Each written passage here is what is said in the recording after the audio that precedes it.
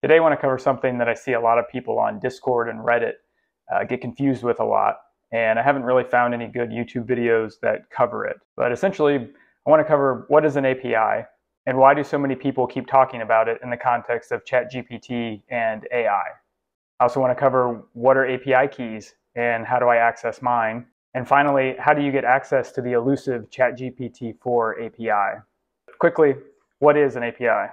Uh, application programming interface. So basically, it's just how applications talk back and forth to one another.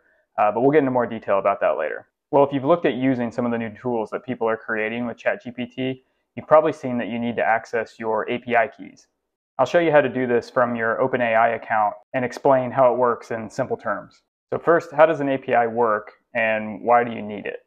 An API is basically a way for a program to communicate to another program or a website without having to navigate between all the user interface screens. As an example, imagine you're creating a program where you're feeding ChatGPT a type of food and ChatGPT will spit out 10 recipes based on that type of food that you like. Well, you don't want your program to force someone to OpenAI.com, log into their account, load a new ChatGPT chat session window, type into ChatGPT, run the entire program off ChatGPT before it would take you back to your program where it would have some of the responses and the user interface that you prefer. APIs let you do this all in the background. Some sophisticated programs require API keys. This is essentially the backend access to OpenAI's ChatGPT that lets you run the program you're trying to use. You may say, well, why do you need my API keys? Why don't you just use your own?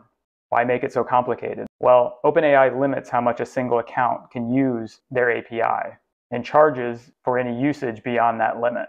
They charge based on how large your prompt is. Uh, it works in tokens. So one token is about four characters or three letters in a space, basically.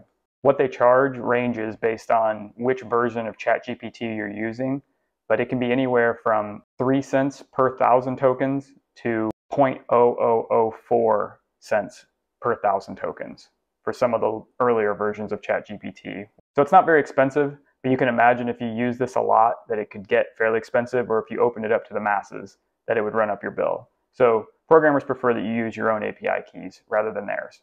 So where are your API keys located? Well, first, we need to go to openai.com. Go to the menu tab and click on Developers. From here, you can go to API Reference and then you'll see this green text here that says API keys. Click that. Here it's going to make you log in if you haven't already logged in. And then bam. And then this window is all of your API keys. If you haven't generated any, there won't be any here. But you can simply click create new secret key. You need to name, name your API key. So for this, I'm going to call it video key. And then create secret key. Now you're going to get this prompt that says save this secret key somewhere safe and accessible. Uh, you won't be able to view it again. Uh, if you lose your secret key, you need to generate a new one. So basically copy this and whatever program you're trying to use it in, this is the key that you need to paste into that program to use it. But you won't be able to actually see this key again. Uh, it'll just have reference like this. So now you can take the API key that you just copied and paste it into whatever program is asking for your OpenAI API keys. So now you have your API keys. Depending how you plan to use it, you may need to set up a billing account on OpenAI.com to account for large text prompts, and you'll pay based on the rates I mentioned before.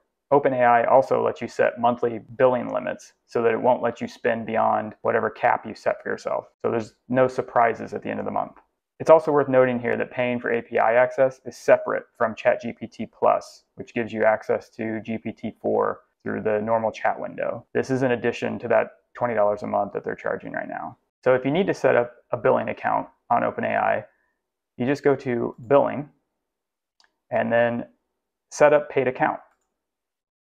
From here, you'll select that you're an individual or if you're working on behalf of a company, and then fill in your billing information. Once you've filled in all your billing information, simply click Set up Payment Method. It says here they're going to hold a temporary $5 pending charge on your card uh, for the month. So now I can use my API keys for large prompts uh, beyond what OpenAI grants you for a new account. New accounts get $5 in free API credits, but once you exceed that, then you have to set up a billing account then to use the API. So this is all how you get access to ChatGPT 3.5 and earlier. But some people want access to the latest GPT-4 API. OpenAI is not just granting these, it's a case-by-case basis, so you actually have to apply. But if you think your project uh, requires GPT-4, this is how you join the waitlist. First, you can click to pricing and scroll down to the GPT-4 section. Uh, you can see the 8,000 or the 8K context is 3 cents per thousand tokens, 32K is 6 cents per thousand tokens.